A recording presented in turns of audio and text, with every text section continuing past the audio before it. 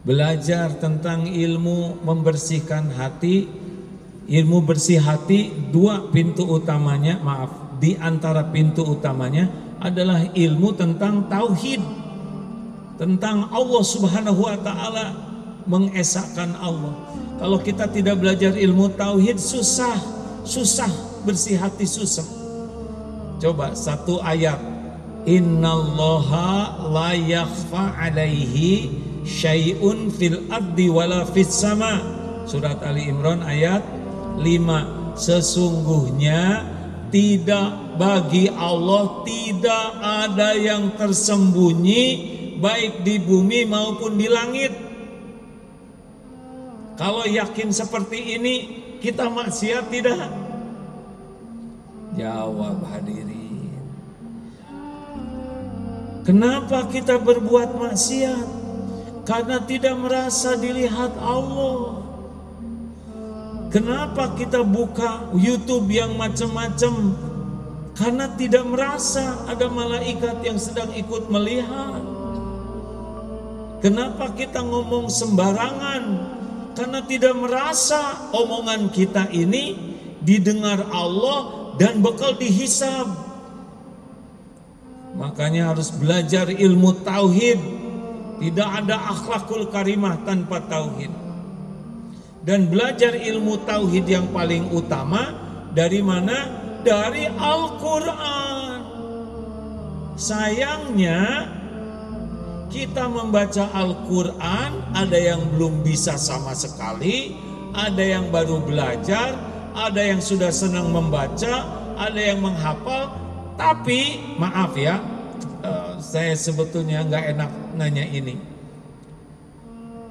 Sudah ada sudah nyoba kan khatam Quran? Sudah? Acungkan tangan yang sudah khatam terjemah Al-Quran.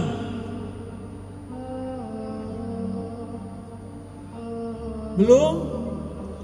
Ribuan yang hadir?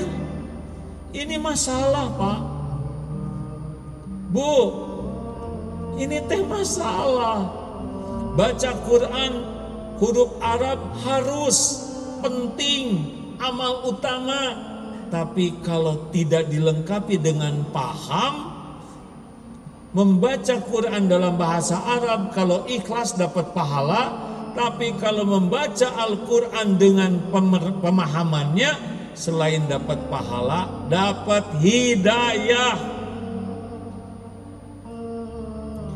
Berapa banyak orang non-Islam benci ke Islam, mau menyerang Islam, dia baca terjemah Quran.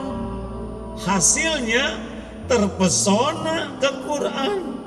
Hasilnya dapat hidayah masuk Islam dan sekarang jadi pendakwah Islam. Itu baca terjemah Quran. Kagum kenal kepada Allah kenal kepada akhlak mulia karena paham. Kita halo sering setoran A'udzubillahi minasyaitonirrajim Ciri orang takwa sebutan alladzina yunfikuna fis sarra'i wad dharra'i wal kadhimina al ghaidh wal kadhimina al ghaidh wal 'afina 'anil nas wallahu yuhibbul muhsinin. Bagaimana Ustaz? Oh, Ibu sudah hafal ayat 134 ini. Terima kasih. Nah, kalian teh gimana anak-anak? Udah ibu bilang kalau ibu lagi ngaji diam. Tahu nggak artinya barusan? Ciri orang takwa bisa nahan amarah. Baru juga setoran, udah marah. Jangan kayak itu ibu tuh sebel ya tetangga itu tuh. Ayat yang barusan wal afina anin nas baru juga setoran memaafkan sebel lagi ya. Yang lebih horor lagi ini Ustaz, Ustaznya saya mau setoran. A'udzu billahi minasyaitonir rajim. Ya ayyuhalladzina amanu ijtanibu katsiran minadh-dhann. Inna ba'da dhanni ismun wa la tajassasu wa la yaghtab ba'dukum ba'dha. أيحب أحدكم أن يأكل لحم أخيك ميتا فكرهتموه واتقوا الله إن الله تواب رحيم Bagaimana? Oh ibu apa? Alhamdulillah. Makasih. Beres setoran, datang ke ibu-ibu. Kenapa sih yang majelis sebelah itu kok ngerumpi aja? Kerudung gede-gede, kelakuan gak cocok. Kenapa dia kayak gitu? Jangan-jangan dia tuh dengki sama kita. Tahu nggak bu suaminya tuh kayak apa kelakuannya? Itu tas yang dibawanya tuh nyicil loh bu. Eh, saya sudah tahu karena nyicilnya dari teman saya dan beli second Tahu barusan setoran ayat apa? Wahai orang yang beriman, jauhi prasangka. Baru juga setor langsung berprasangka buruk. Wala tajassasu dan jangan nyari-nyari aib kesalahan orang lain. Baru juga setoran langsung nyari ya. Dipraktekkan yang sebaliknya. Wala yang ba'dukum ba'do. Jangan bergibah, jangan ngomongin kejelekan orang Masalahnya tidak bersih hatinya karena belum sungguh-sungguh paham. Jelas? Jadi gimana dong?